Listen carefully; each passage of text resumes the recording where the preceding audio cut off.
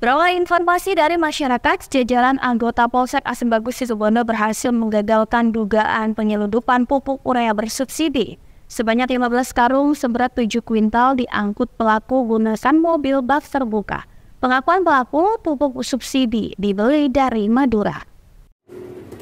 Terduga pelaku bersama barang bukti 15 karung pupuk urea bersubsidi dipamerkan oleh Satreskrim Polres Situbondo. Aksi penyelundupan pupuk subsidi seberat 7 kuintal berhasil digagalkan jajaran anggota Polsek Asembagus pada minggu malam kemarin. 7 kuintal pupuk urea bersubsidi dibawa Harlim 43 tahun, warga desa Sopet, Kecamatan Jangkar menggunakan mobil pick-up Mitsubishi T120SS Nopol P9533EB. Pupuk yang dibeli dari Madura oleh pelaku hendak kembali dijual ke petani di Dusun Lengket, Desa Mojosari, Kecamatan Asembagus.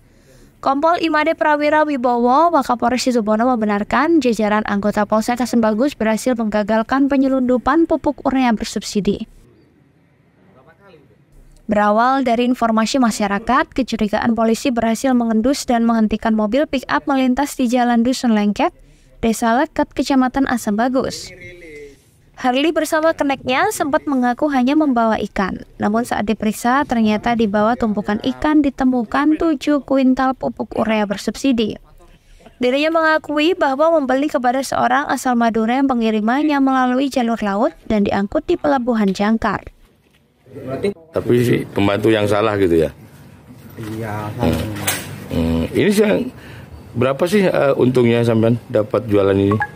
Cuma lima belas ribu. Sudah ketemu berapa kali transaksi sebenarnya? Baru satu kali. Satu kali ketemu?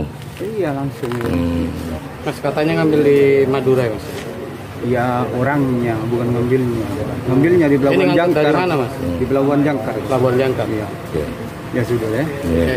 Kemudian untuk modus operandi eh, tersangka membeli pupuk dari seseorang berinisial A alamat Madura kemudian menjual kembali kepada warga wilayah desa Mojosari, kecamatan Asembagus dengan tujuan untuk memperoleh keuntungan. Pada hari Minggu tanggal 28 Januari 2024, sekira pukul 21 WIB, anggota Polsek Asembagus menerima informasi dari masyarakat dugaan penyalahgunaan pupuk bersubsidi jenis urea.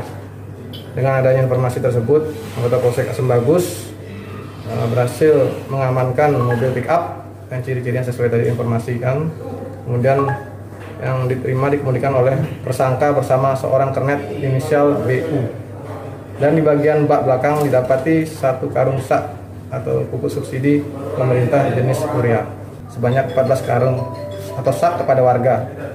Sedangkan satu karung sak sisanya ada di bak belakang dan dipakai TSK sendiri.